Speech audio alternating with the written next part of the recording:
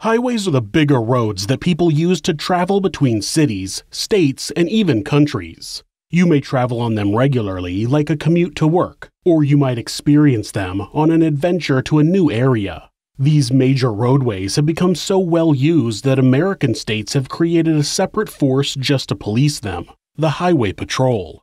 Every day, people drive down the highway with nothing on their mind but where they're going. Sometimes, though, they never reach their destination.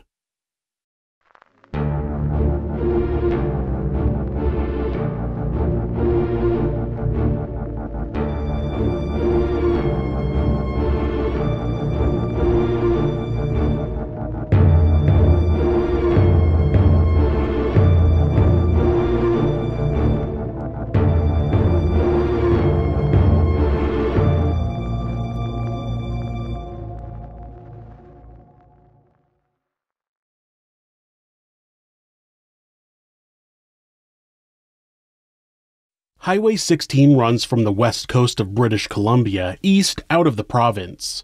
The 720 kilometer span of highway between Prince Rupert in the west and Prince George in the east is what has become known as the Highway of Tears.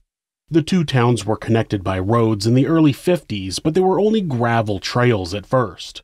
Over the years, the road was widened and paved and became a major path, especially for the transport of goods across British Columbia. Despite being a major road, it cuts a path through some of the most secluded areas of the province. The highway is dotted with small towns that have no public transportation, so many people resort to hitchhiking in order to make it to essential services such as doctor's appointments and education. This causes young women to get into vehicles with strangers and drive into a vast, secluded area.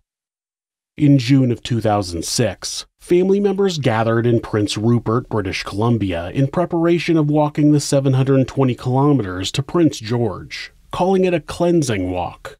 They were planning to be there in time for a symposium organized to discuss what to do about the unsettling number of young women who were going missing and being murdered along Highway 16. The focus of much of the symposium was on the fact that so many of the victims were First Nations women who were not getting the attention they deserved.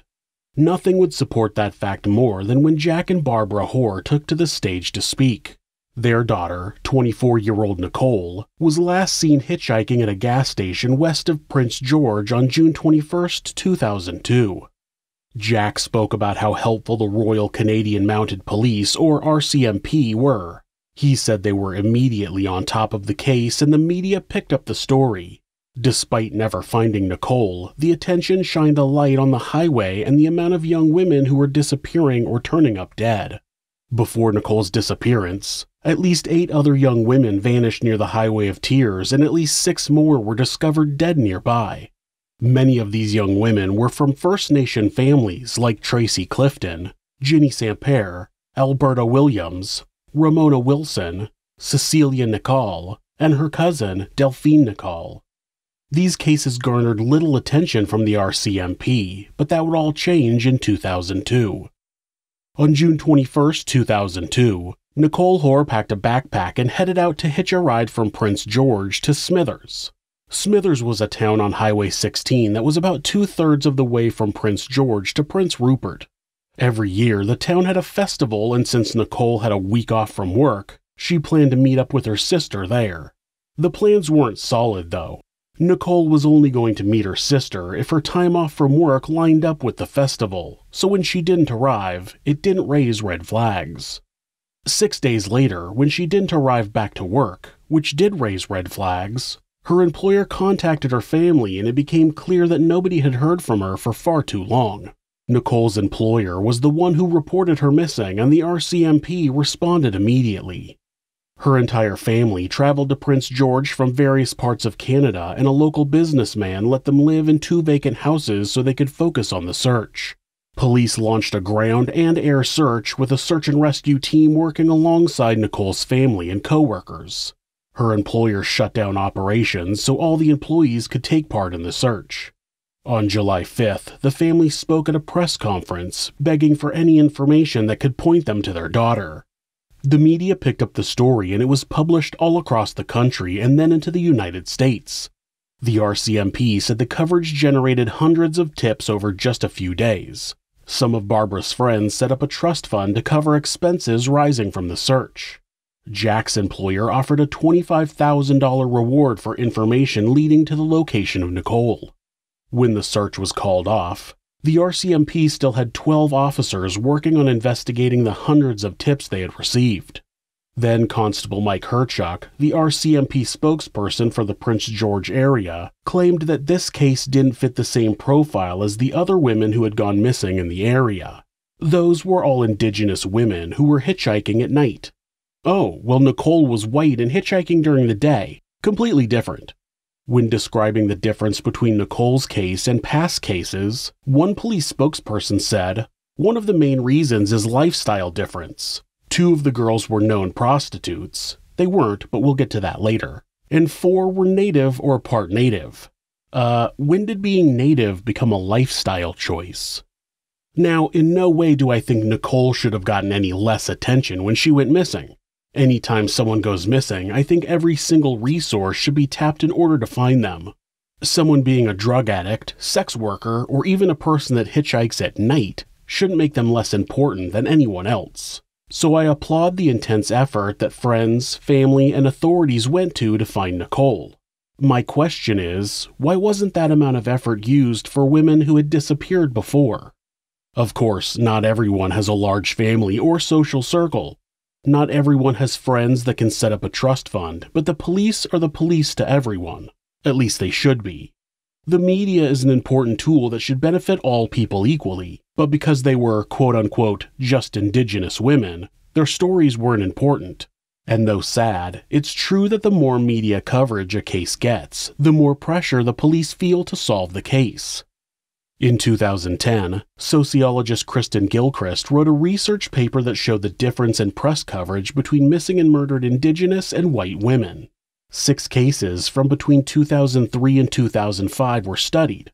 Three covered cases of missing and murdered white women, and three covered cases of missing and murdered Indigenous women. Other than their ethnicity, the women's lives were similar. All attended school or had jobs, they all had close connections to family, and none had a history of running away or sex work. The white victims were mentioned in 511 articles, whereas the indigenous women were mentioned in 82. Articles about the white women's cases were longer and more likely to appear on the front page of the publication. White victims were more often referred to by name, whereas indigenous victims were far more impersonal. And why does it matter if a young woman is a prostitute or a stripper? Does that make them less deserving of being found if they go missing? Police and news outlets regularly referred to murder victims Roxanne Thiara and Alicia Germain as prostitutes, but they were both 15 years old. They were sexually exploited children. Roxanne Thiara was born in Manitoba but was placed into foster care with a woman named Mildred Thiara who lived near Prince George. Her early childhood was happy, but when she became a teen, she started acting out. She started experimenting with drugs and skipping school, a behavior that's not uncommon for children in foster care. A survey of Indigenous youth who used drugs in Vancouver and Prince George found that two thirds of them had been involved in the child welfare system when they were younger. When Roxanne was about 12, she was sent to a youth detention center for a petty crime. There, Roxanne befriended other girls in the facility who she remained friends with after her release. She began using cocaine and being sexually exploited by people who used her situation to their benefit. On June 27, 1994, Roxanne told Mildred that she wanted to go to treatment so she could get clean and go to school to become a fashion designer. Mildred made an appointment for Roxanne to get treatment, and Roxanne left to go retrieve her belongings, intending to return the next day. That night, Roxanne told a friend that she was going to meet a customer and she was never seen again. Mildred spent months searching for her without the help of police. She was eventually listed as a missing person, but some newspapers report that that happened on July 5th, and others report that it happened on August 11th. Nobody really spent a lot of time on her case. Her body was found on August 17th, dumped in some bushes off of Highway 16. Her murder remains unsolved. Alicia Germain's youth was similar. She was not in the foster system, but her home life was described as tumultuous.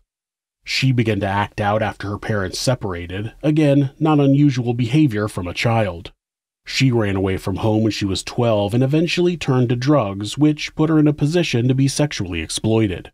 Like Roxanne, in 1994, she was also interested in getting clean and going back to school.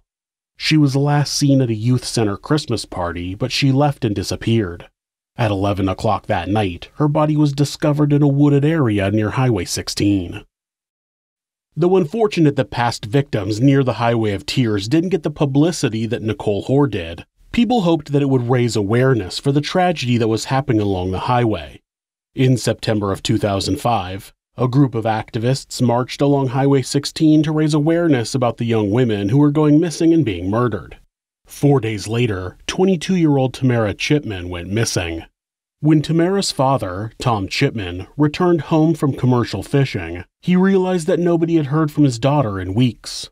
He reported her missing and said that the RCMP was very accommodating. Possibly still feeling the heat they got during the search for Nicole Hoar, they assigned multiple investigators to the case. The story was picked up in the media, and a local businessman put up a website to raise awareness about Tamara and the other women who had gone missing along the highway. Volunteers working with a search and rescue team and volunteer firefighters searched for months, but she was never found. On February 2, 2006, 14 year old Aielah Saric Auger disappeared after a day of hanging out at the mall with her siblings. The siblings had split up, so her family didn't notice that she was missing until the next day. Her mother, Audrey, tried to track her down, but when she was unsuccessful, she went to the police. It seemed that the pressure on the police had died down by the time Audrey reported her 14 year old daughter missing, because they waved her off and told her to give it a little more time. She'd turn up eventually. They didn't put out an Amber Alert, they didn't even file a report. They told Audrey to come back in 78 hours. That's over three days. For a 14 year old girl to be missing. Her body was found in a ditch along Highway 16 on February 10th.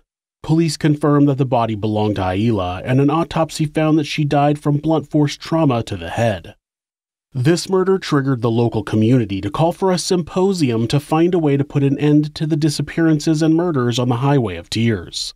The first call to action was a success and it pulled in support from all over the province. The British Columbia government, First Nations leaders, health organizations, domestic violence and sexual assault centers, and the public were all pouring in support.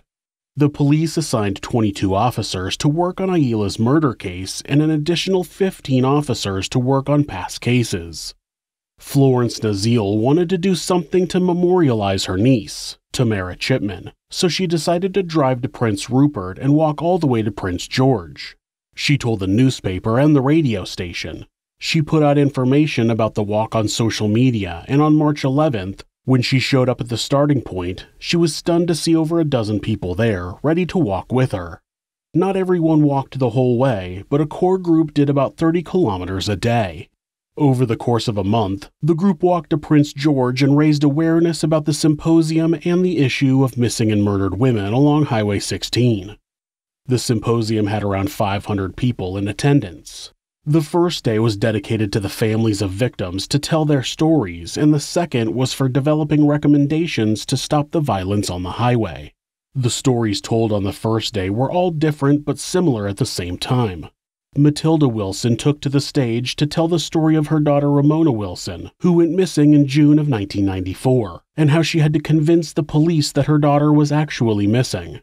She described the officer not being willing to even get out of his car, so they began the search themselves.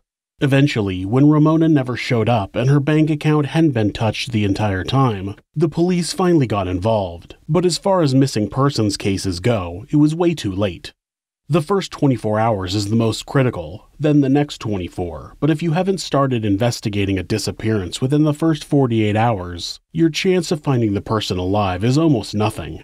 So please, if the police tell you you have to wait 24 hours before reporting someone missing, don't believe them. It's not true, and the sooner the search begins, the better chances you have of finding them.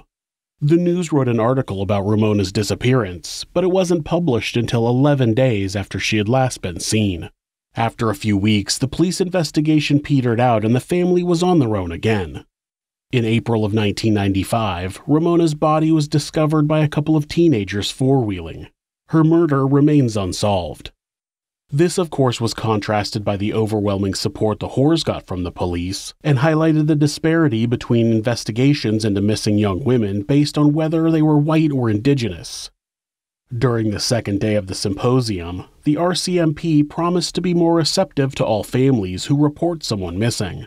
They said they would send the current cases to Vancouver to be analyzed by specialists to see if any of them match cases in other parts of Canada.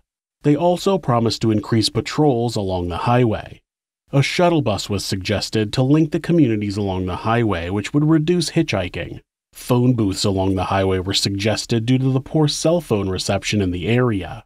Awareness and prevention programs in schools and universities were suggested, along with more health and social services in First Nations communities so people didn't have to hitchhike to obtain basic services. It was also suggested to have a readiness plan in the event another young woman went missing. After the symposium, the RCMP began a project called ePana. The E stands for the RCMP's BC division, and Pana is an Inuit goddess who cares for the souls of the dead. This project was started to determine if a serial killer was operating in the area and to develop plans to investigate each case. It first focused on nine cases of missing and murder women along the Highway of Tears. Most were Indigenous women. But then they added nine more cases from other areas, the victims being mostly white. Family members of the Highway of Tears victims felt that the police were diluting their efforts to help Indigenous families. But the police said that if a serial killer was traveling on Highway 16, such as a long haul trucker, it was likely that he had victims in other areas. Unfortunately, the project wasn't without flaws. Some of the cases were 30 years old and their original investigators had retired, tossing their notes at the same time. Many of the officers assigned to the project had no investigative experience. Though the project was able to put resources into the cases, they've only come up with answers to two of them. They connected the 1974 murder of 16 year old Colleen MacMillen to American serial killer Bobby Jack Fowler and convicted Gary Taylor Handlen for the 1978 murder of 12 year old Monica Jack. The rest of the cases remain unsolved. During this time, women continued to be victims of the Highway of Tears, and it turned out that there was a serial killer, but he wasn't part of the ePana Project investigation. On November 27, 2010, a police officer noticed a pickup truck pull out of a logging road and speed down Highway 27. He pulled the truck over, and when another officer followed the tracks up the logging road, he found the body of 15 year old Loren Leslie. Inside the truck, they found a wrench covered in blood and a backpack which contained Loren's ID. 20 year old Cody Legebokoff was arrested and charged with the murder, but an investigation revealed three other victims. Jill Stuchenko's body was discovered in Prince George on October 13, 2009. Cynthia Maas's body was discovered in Prince George on October 10th, and Natasha Montgomery went missing on August 31st, but her blood was found in Cody's apartment and he was charged with her murder despite the body never being found. Cody was convicted on all four counts and sentenced to life in prison. Since then, women continue to go missing from the Highway of Tears. Some turn up dead, others are never found. The majority of the women are indigenous, Indigenous women make up about 4% of the total female population of Canada, but account for 16% of all female homicides. Police still treat Indigenous women as less important, so they often quickly rule their deaths as suicides, drug overdoses, or accidents. They classify the women as high risk, but many of them have no choice but to live the lifestyle they do. In the late 19th century, Indigenous children were forcibly removed from their homes and sent to live at boarding schools that attempted to suppress their heritage. The colonial settlers wanted to assimilate the natives to be more European. At the residential schools, the students suffered physical and sexual abuse, malnutrition, lack of medical care, poor sanitation, and corporal punishment.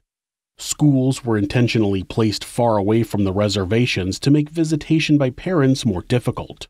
The students were also included in a number of experiments without their knowledge, including malnutrition experiments, vaccine trials, and studies on extrasensory perception. The schools began closing in the 1960s, but they left a lasting effect on the indigenous population.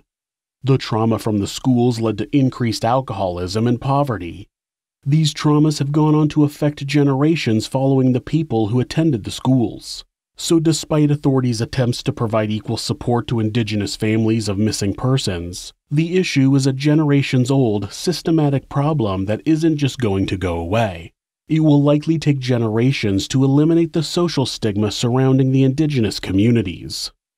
On July 3, 2016, the Canadian government announced a national inquiry into missing and murdered Indigenous women. It was immediately plagued with problems. The victims' families were expected to contact the Commission instead of the Commission reaching out to them. That included a hotline to call where families would leave a message and never hear back. Some family members were able to schedule meetings and hearings, but they were canceled at the last minute. It was a complete bust. In September of 2017, two commissioners from the National Inquiry were set to preside over hearings in the town of Smithers, right on Highway 16. More than 10 years after their first cleansing walk in 2006, dozens of family members gathered in Prince Rupert to walk the 350 kilometers to Smithers in time for the hearings. There, families spoke about the loved ones who were no longer with them, the ones who vanished and were never seen again, the ones who were found but were still gone, explaining that, in a world where their families were often overlooked, they just wanted their loved ones to matter. Women continue to disappear along the Highway of Tears. Less than a month after the hearings, Frances Brown disappeared while she was out picking mushrooms near Smithers. Her disappearance remains unsolved. Chantel Simpson's body was found in a river on July 22, 2018. Her death remains unsolved. Jessica Patrick's body was found on a road near Smithers on September 15, 2018. Her death remains unsolved. Cynthia Martin was last seen on December 23, 2018. Her disappearance remains unsolved. Lorene Fabian was last seen on October 28, 2019, near her home in Houston. Her disappearance remains unsolved. Unfortunately, this list will continue to grow. When you're walking down the highway, especially one specific highway in British Columbia, look around and remember all of the people who used it, but never reached their destination and make sure you stay safe. Thanks for letting us tell you this sinister story. If you enjoyed it, subscribe on whatever platform you're on and hit like, rate it, or leave a comment. Join us next week when we'll take you somewhere sinister.